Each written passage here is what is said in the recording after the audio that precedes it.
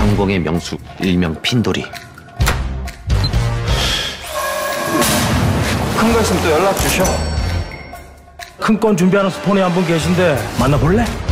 여기 지하에서 작업해서 고아 포스로 저기다 연결하세요. 한 방에 300억쯤 땡기시겠다. 성금 5억에 잔금 5억. 진행하시죠.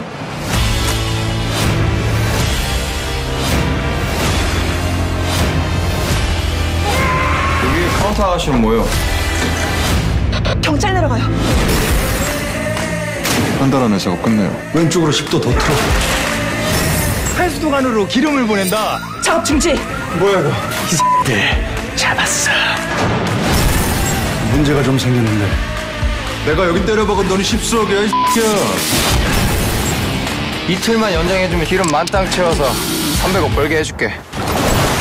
뭐 끝내면 네 목숨은 내 거다. Okay.